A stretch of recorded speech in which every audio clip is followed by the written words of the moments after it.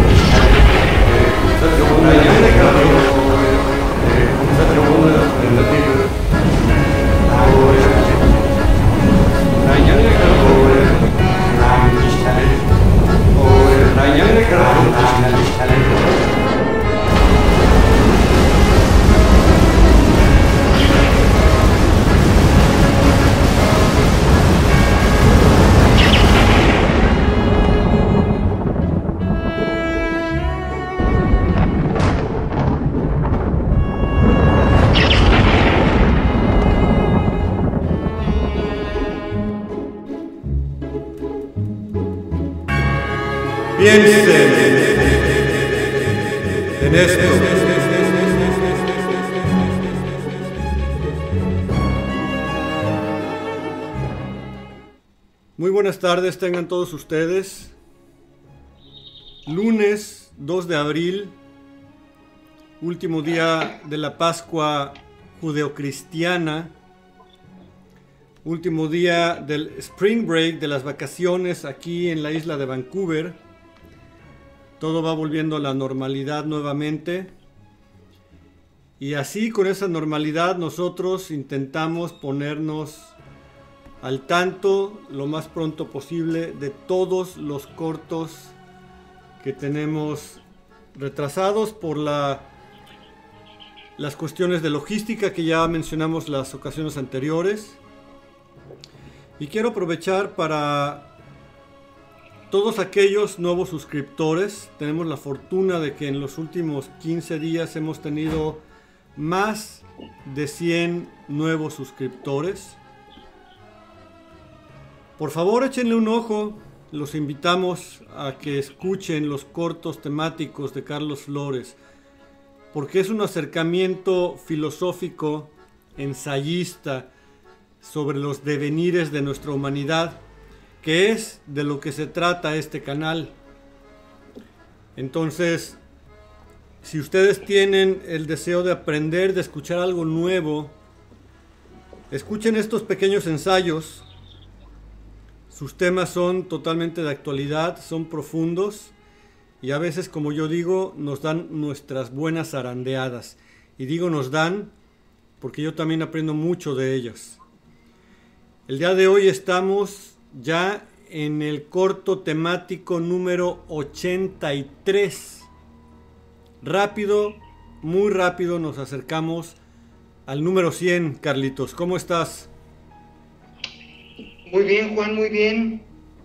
Aquí ya listo otra vez para comentar contigo y con nuestros eh, con nuestro público este pues todos estos avatares de la humanidad, ¿no? Nos quedamos muy picados con el corto anterior. Quedó como es, un tema bastante amplio.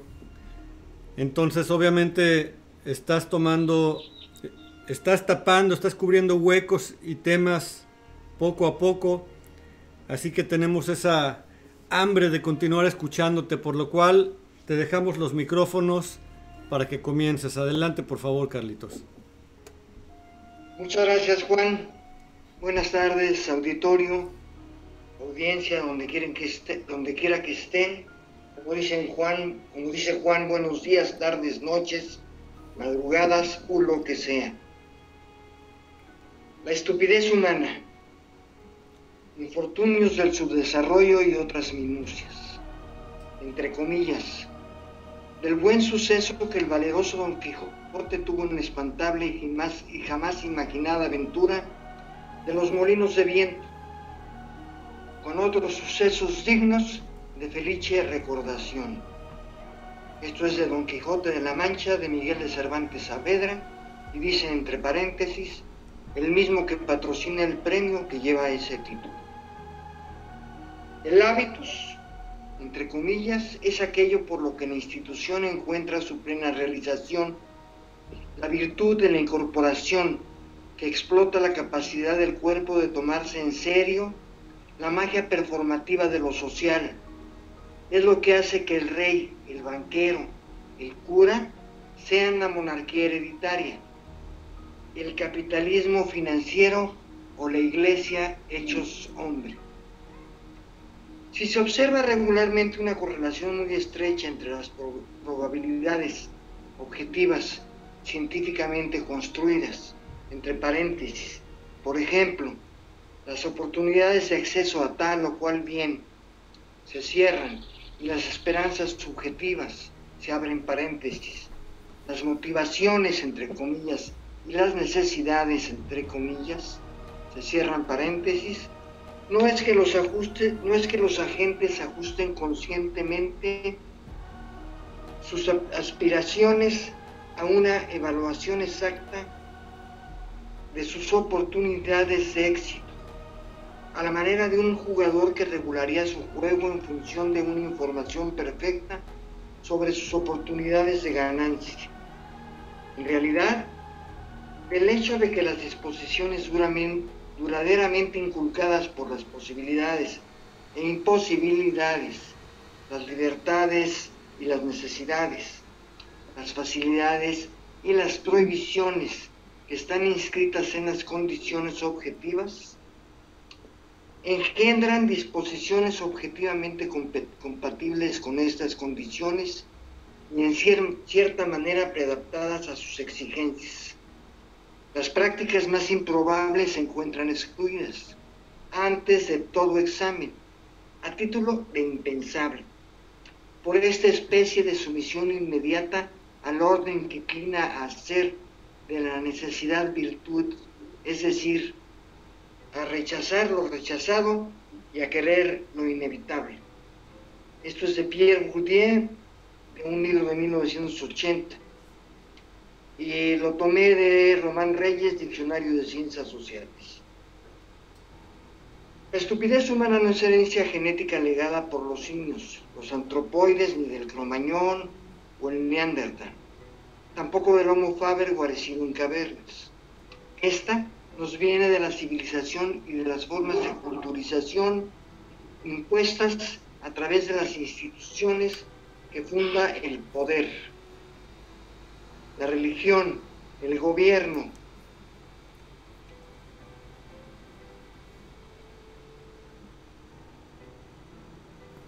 Perdón. En la economía la estupidez, perdón, la estupidez, aunque puede venir en cápsulas, es gestionada como la vacuna contra el sarampión en colectivo. Entre comillas,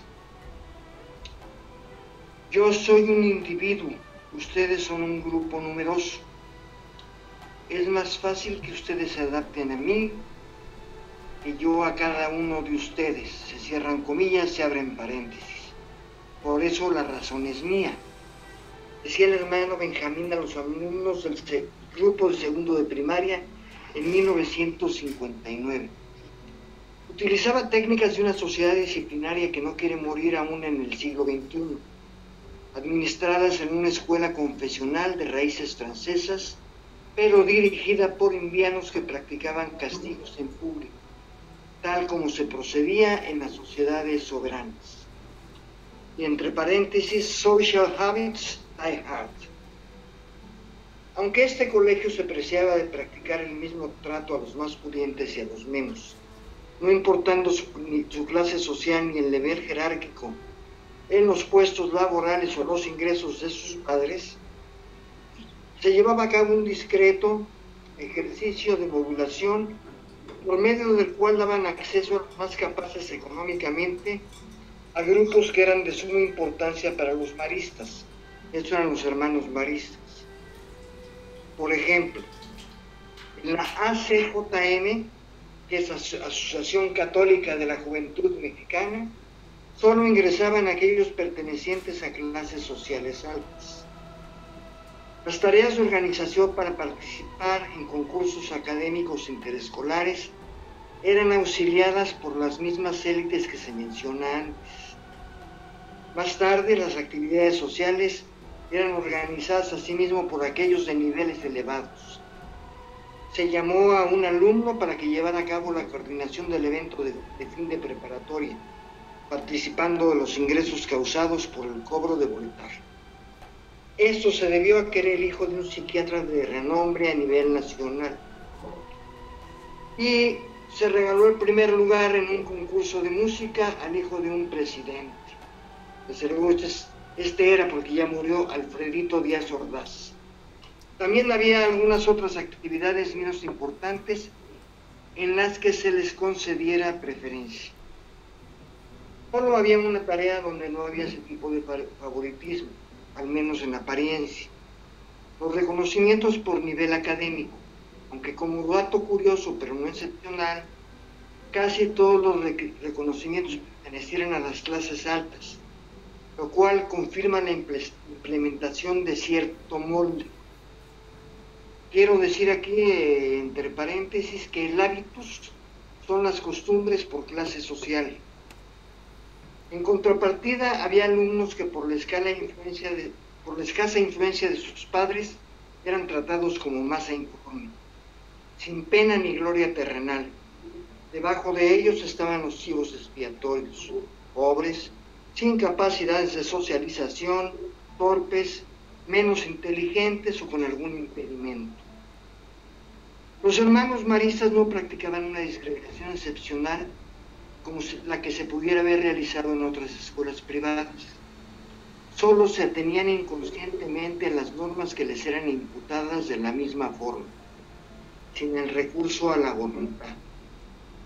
Y otra vez entre comillas, el peso particular de las experiencias primitivas resulta en efecto en esencial del hecho que el hábitus tiende a asegurar su propia constancia y su propia defensa contra el cambio a través de la selección que opera entre las informaciones nuevas, rechazando, en caso de exposición fortuita o forzada, las informaciones capaces de poner en cuestión la información acumulada sobre todo desfavoreciendo la exposición a tales informaciones. Por la, entre comillas, selección sistemática que opera entre lugares, acontecimientos, personas susceptibles de ser frecuentadas. El hábitus tiende a ponerse al abrigo de las crisis y de las puestas en cuestión críticas, asegurándose un medio al que está, al que está tan preadaptado como es posible, es decir, un universo relativamente constante de situaciones propias a reforzar sus posiciones, ofreciendo el mercado más favorable a sus productos. Y es una vez más en la propiedad más paradójica del hábitus, principio no elegido de todas las, entre comillas, elecciones, que reside la solución de la paradoja de la información necesaria para evitar la información. Otra vez eh, Pierre Bourdieu, 1980, y Román Reyes, Diccionario de Ciencias Sociales. Para el que no tiene idea de la sedimentación subyacente de patrones sociológicos en los sujetos, esto se creerá exagerado, no creíble. Primero, él, ella estará cierto que actúa voluntariamente, y dos, que lo efectuará de cierta manera y no de otra, porque eso es lo correcto. Para aquel que está cómodamente inserto dentro de una estructura rígida, sus acciones no solo, no solo son lúcidos, sino parte habitual de su vida. Pero para quien con mirada aguda percibe que los movimientos por cada clase social tienen una continuidad, dos, habida cuenta que de hecho los profesores de esta escuela no tenían un código de excepción personal que fuera dirigido a todos los alumnos, no obstante excepciones en casos particulares, o sea que algún profesor le cayera mal a alguien, cumplían con la labor que sociológicamente les había sido conferida como institución, en este caso educativa, mantener a cada hato de borregos en el corral estipulado. Esto ha cambiado de posición en los últimos 30 años, saliendo el paso a las técnicas de la sociedad de control, pero no del todo. Las instituciones desde donde se propaga el control sobre el rendimiento en formas intensivas, que pueden ser familiares, educativas y laborales, ejecutan todavía de maneras específicas el trato diferenciado sobre los sujetos. Las plataformas de despegue cualitativas y cuantitativas desde donde se les proyecta familiarmente determinan las posibilidades e imposibilidades del sujeto. Por ejemplo, una que ya le han puesto muchas veces, las educativas, sobre todo en los niveles de educación superior, que constituyen un filtro obligado por los altos costos de las colegiaturas y el sostenimiento de los estudiantes, lo que afectará a los menos capacitados económicamente y los conformará como sujetos de rendimiento como a los demás, pero que debido a la presión económica agudizará aún más su hiperactividad, con lo que aumentará su posibilidad de reventar. Burnout, esto es de Byung-Chul Han. Y aunque la posibilidad de lograr maestrías o doctorados, etc., nos ayuden a emplazar mejores puestos en escala jerárquica propuesta por el sistema actual, los, los puestos de alta dirección, CIOs, etc., estarán reservados para quienes nacieron ahí. La cesión de la propiedad de medios de producción y servicio a gran escala resultarán del mismo pedigrí, entre comillas. La propiedad se apropia de su propietario, encarnándose bajo la forma de una estructura generada de prácticas conformes a su lógica y a, sus exigencias. Esto es de Bourdieu y otra vez Román Reyes, Diccionario de Ciencias Sociales. Ahora bien, Byung-Chul Han apuesta a la transposición de la positividad sobre lo negativo, de la reacción de inmunidad hacia el otro a la autoinmunidad del yo, de la esfera de la represión a la de la permisividad, sucedáneo de la libertad, de la disciplina externa al control interno. Todo esto como un suceso de proporciones globales o por lo menos occidentales, dado hace ya mucho tiempo. En estas condiciones el, instrumento psíquico freudiano se descompone. Puesto que al obviar la presencia del super-yo en su relación con el, el ello y el yo, no necesita un inconsciente que, entre comillas, almacene lo reprimido y sostenga un conflicto de temporalidad vital también sucederá que en el ámbito relacional en donde aceptaba al objeto en vínculo con el yo, el objeto aquí mencionado como el otro, se reconformará en una instancia unidimensional en el que yo tome el lugar del objeto y se mantiene en un monólogo consigo mismo. Contexto en el que el amor o odio por el otro se reconvertirá contra de sí por efecto de un narcisismo aislante y doloroso que no expondrá a enfermedades psíquicas como la depresión, la angustia inacabable debida al síndrome de hiperactividad, que tendrá como consecuencia, antes o después, la consumición final del sujeto. Todo esto coloca al sujeto del subdesarrollo en escalas de aprendizajes conscientes e inconscientes diferenciadas a las del sujeto del desarrollo, que no obstante vivir en un engaño vital, también, digo yo, conformará una relación más directa con el entorno. Y la interpretación del sujeto de la periferia de la cual dependerá su acción concernirá a la entre comillas realidad que confronta en lo cotidiano y que ausente de las características del desarrollo que le ofrecerían una estructura sistémica sofisticada y que lo adecuarían a la sociedad de control, pagará por callejones sin salida que lo apremiará a, entre comillas, dar soluciones biográficas a problemas sistémicos. Esto es decir, un Bauman.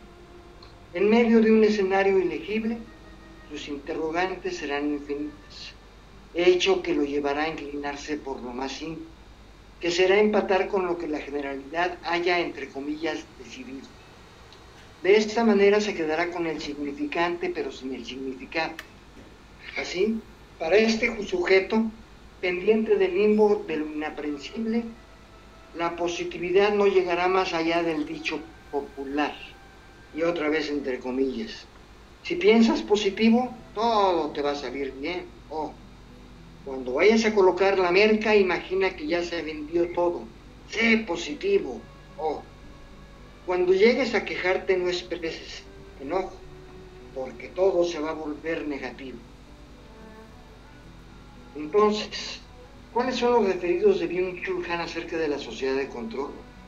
Aquellos países desarrollados que puedan tener diferencias económicas no, no demasiado notorias entre su población y que mantengan un promedio de ingresos alto y por lo mismo sean predispuestos al tipo de sociedad controladora, estos serían los europeos occidentales. U otros que además de contar con amplios recursos internos, se apropien de las economías de otros países vía saqueo de recursos naturales, pero que en general mantienen un alto nivel de vida, haciendo promedio a una parte sustancial de su población, en este caso estaría Canadá. U otro similar al anterior, dando por descontado que habiendo tenido un promedio alto en el pasado reciente, ha debilitado a sus capas medias.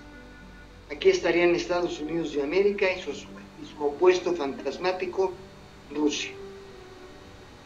Con efecto de diversidad al tema, se propondrá a los países del tercer mundo América Latina, Europa Oriental y países de la ex Unión Soviética, que mantienen a élites políticas y económicas que no llegan al 0.01% y que dan empleo tal vez al 6% de sus poblaciones en grados mayores a la pura subsistencia y a otro 8% en niveles de subsistencia, en los que no obstante tener calidades, cantidades altas de público en los actuales medios de comunicación no tienen la oportunidad de compartir, no se diga conocimientos, sino culturas homogéneas, lo que en ese sentido imposibilita toda coherencia entre regiones, como si se hablara de un vitral que ha caído de la gracia de Dios y se haya quebrado en pedazos, algunos tan pequeños, que sería imposible tratar de integrarlo nuevamente.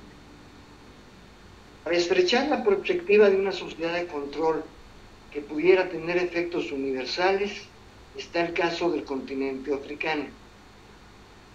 Pues en esas naciones divididas con serrucho por los, entre comillas, occidentales, la desintegración aún, es aún más evidente por la atomización de las culturas tribales y las divisiones étnicas que suponen enemistades belicosas que suponen más pobreza para los habitantes originales y como consecuencia la riqueza de los invasores. Por los países árabes divididos por el sionismo en situaciones generales peores que las de América Latina. Fragmentos de las naciones del Islam, vueltas al pasado por efecto de sus líderes religiosos. La India, una nación miserable con una proyección capitalista frustrada. China, como particularidad, sería una excepción por ser el país comunista más capitalizado del orbe, que sin embargo comparte todas las discusiones de las disfunciones de los países del tercer mundo, a pesar de ser una economía con un alto índice de crecimiento. A lo que se llega es que se persiguen disciplinas sociológicas, filosóficas, literarias, artísticas y antropológicas, apoyadas por otras de órdenes científicos y tecnológicos. Más aún, económicas y políticas apoyadas por la corrupción de gobernantes de la periferia y por opciones, operaciones militares que no dejan margen a las autonomías nacionales y a las libertades individuales.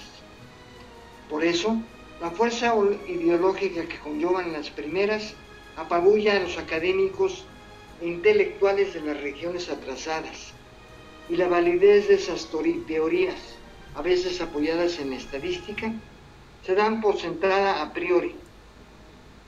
Sin embargo, no lo son, como se pudo constatar para el mundo entero.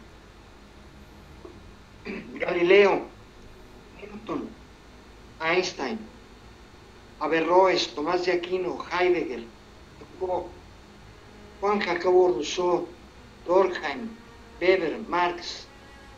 No se puede negar que la historia del pensamiento si bien no empieza solamente en Europa. Arabia aportó hasta la baja Edad Media Europea, se separa de Oriente a la invasión de América aplastando su cultura y saber. Y los países imperialistas inician la carrera por la apropiación del mundo. Se invaden tierras, se saquean riquezas, se asesina y esclaviza a la población originaria.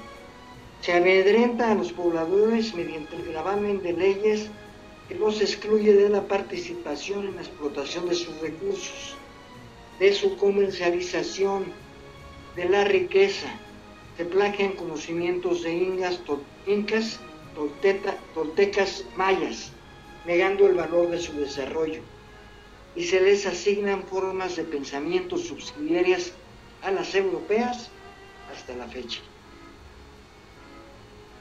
El otro, que niega la asociación de los propietarios autóctonos a efecto de observar la distancia en el saber y sus aplicaciones.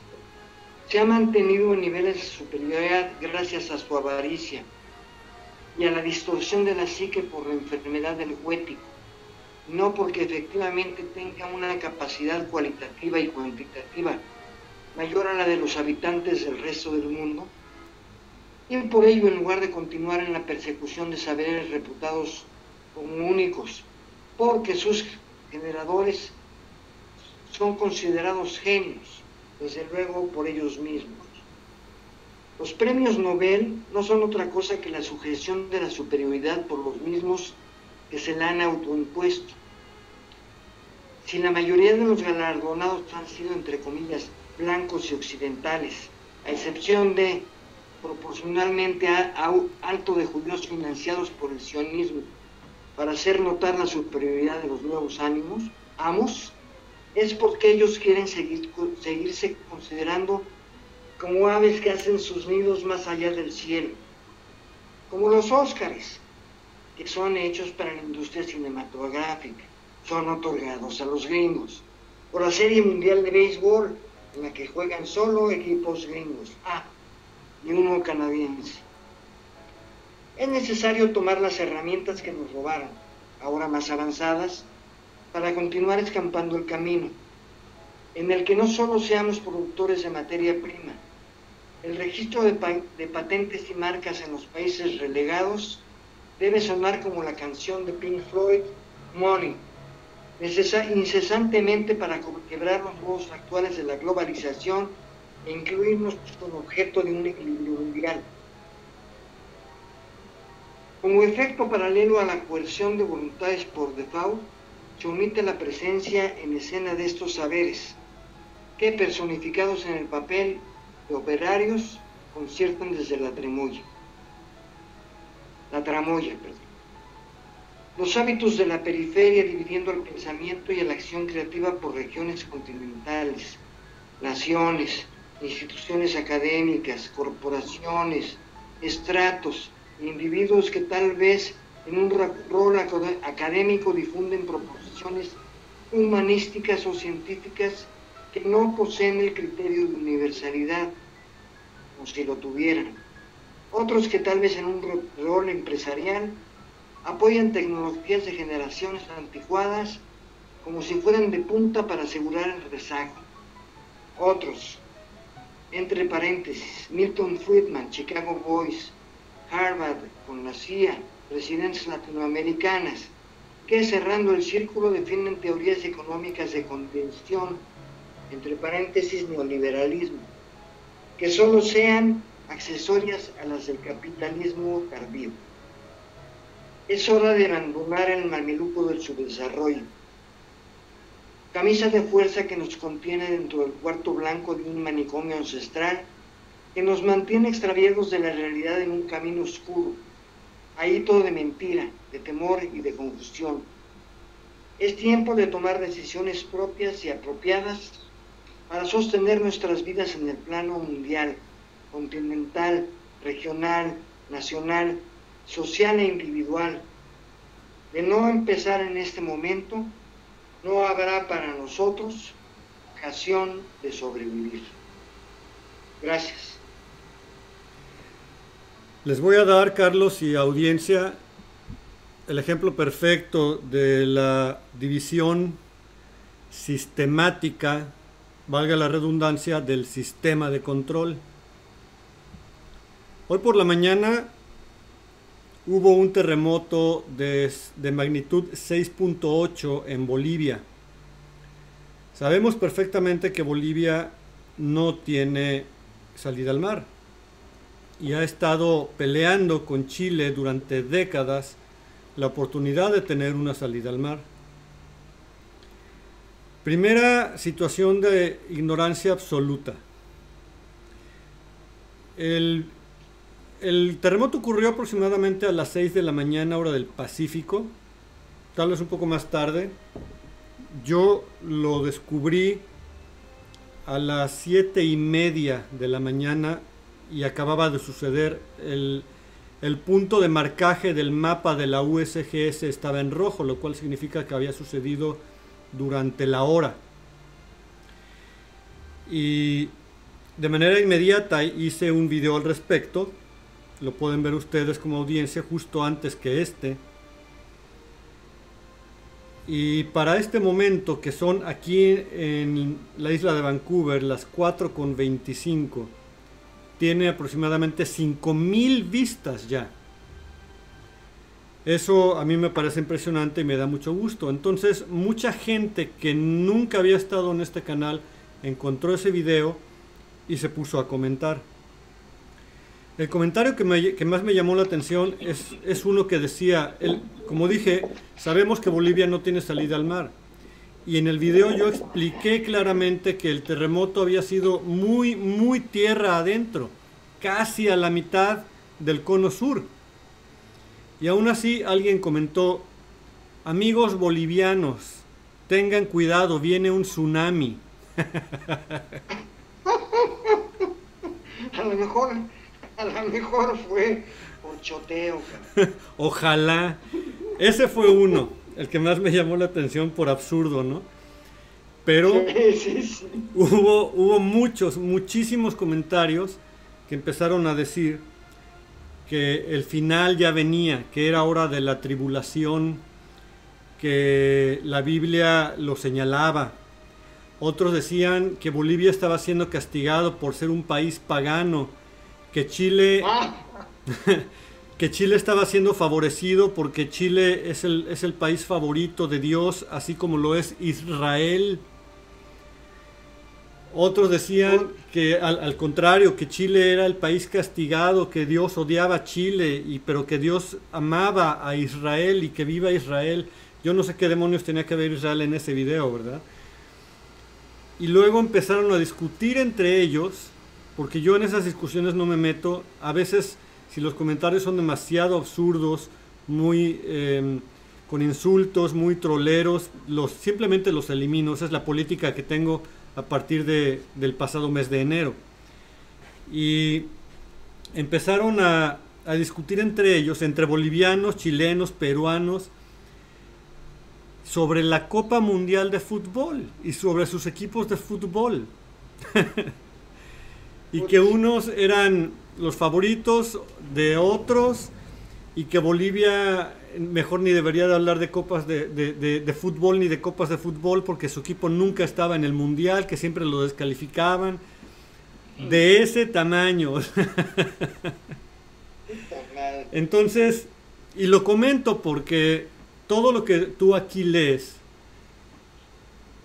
es una explicación, si bien sencilla, para mentes como la tuya, como un filósofo, escritor, ensayista, etc., muy profunda y tal vez para muchos complicada,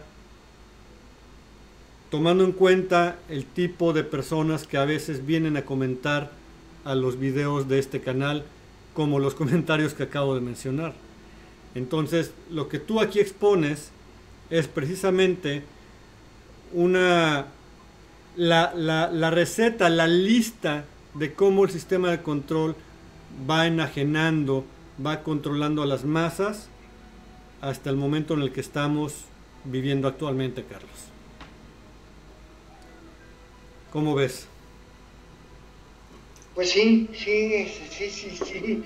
O sea, así está puesta la cosa, ¿no? Y nos vemos como, o sea, lo más posible es que esas personas que te hicieron eh, que comentarios, ya sean absurdos o no, sean eh, tercermundistas, ¿no? Y ahí se, se, ve lo que dijo, ¿no? O sea, cómo, cómo va a haber una sociedad de control impuesta sobre tipos que no saben ni cómo se llaman ni dónde están ni cuál es el problema, ni siquiera personal, ¿no?